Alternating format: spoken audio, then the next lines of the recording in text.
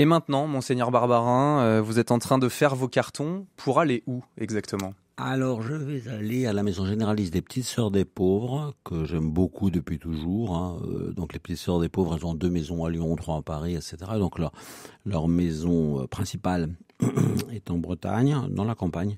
Et donc là, il y a la mère générale, son conseil, euh, il y a les sœurs en formation, il y a aussi des sœurs âgées, il y a aussi des personnes âgées dans une de leurs maisons. Et euh, au, fond du, parc, disons, de cette maison-là, il y a euh, la maison de propédeutique des séminaristes de Bretagne. Et en même temps, l'archevêque de Rennes m'a demandé de donner un ou deux cours au, au séminaire de Rennes. J'espère que j'en serai capable. Dans quel état d'esprit vous abordez cette nouvelle mission Ah, très content, euh, très très heureux. Euh. c'est toujours heureux de faire quelque chose de nouveau, quoi. Donc là, c'est quelque chose que j'ai jamais fait, d'être aumônier dans une grande maison de religieuse. Je serai euh, compagnon de monseigneur Émile Marcus, qui est là-bas depuis une quinzaine d'années et qui a 90 ans. Archevêque émérite de Toulouse. Oui, c'était mon super séminaire. Là, je dis, mon pauvre, vous avez déjà vu à me supporter quand j'étais au séminaire, mais il est très gentil, c'est un saint homme. Et mais évidemment, euh, il n'a pas la même force qu'avant. Donc, euh, l'archevêque de Rennes m'a dit, s'il te plaît, euh, tu feras des confirmations que je n'ose plus trop lui demander ou des choses comme ça, rendre des services. Et puis aussi, peut-être, pas, peut-être sûrement, parce qu'il y a déjà beaucoup de demandes, prêcher une retraite dans tel et tel endroit. Mais il y a quand même quelque chose qui se fait dans la discrétion dans cette nouvelle mission. Vous qui avez été sur le devant de la scène, parfois hyper exposé, Comment vous abordez cet aspect-là? Bah Plutôt avec joie, parce que quand il y a le retour au calme après la tempête et le tsunami, tu es plutôt content. Non, ça c'est, l'important dans, la vie d'un prêtre, c'est euh, les contacts qu'il a avec les gens et euh, le service du Seigneur, le service du Seigneur et de l'Église, quoi.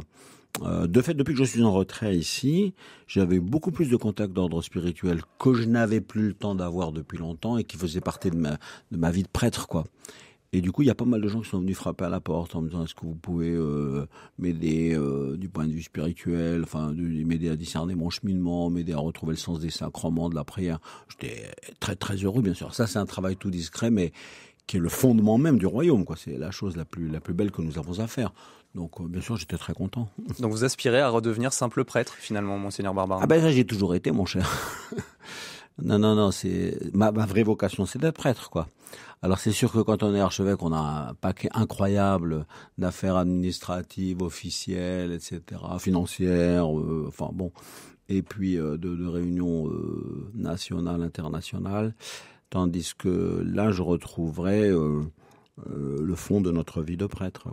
Est-ce que vous allez rester dans la campagne rennaise ou le pape François va-t-il par ailleurs vous confier des missions à l'étranger, par exemple? Alors, il me l'a dit, mais pour l'instant, il m'a rien dit précis. Il m'a dit, j'aimerais bien que tu restes disponible parce que, vu la connaissance que tu as du Proche-Orient, de l'Irak, du Liban, de l'Égypte, etc., c'est possible que, que je t'envoie là-bas pour telle ou telle chose.